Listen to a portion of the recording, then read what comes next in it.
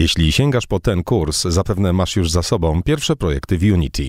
Znasz podstawy języka C-Hash i chcesz nauczyć się tworzyć gry o rozbudowanej fabule i strukturze.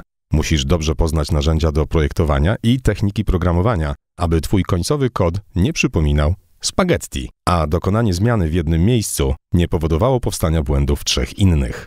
To szkolenie pozwoli Ci pisać przejrzysty kod i wypełniać scenariusz bez wywoływania kolizji między różnymi częściami gry, a także integrować wiele systemów działających globalnie w skali gry, by elastycznie ze sobą współpracowały.